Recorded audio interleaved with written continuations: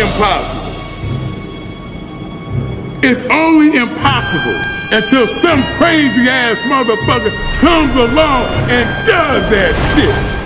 Then it ain't impossible no fucking more. As we welcome you to Green Bay, Wisconsin for today's game.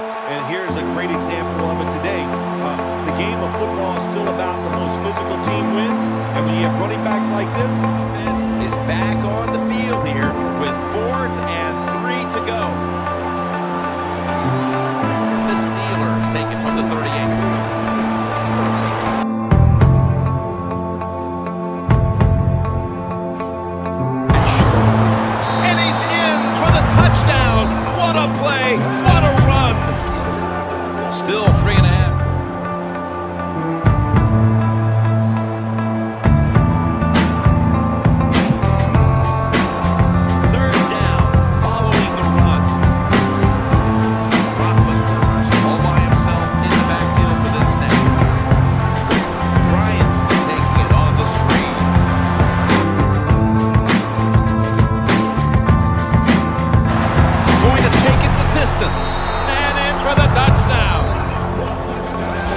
first quarter, and they're stretching.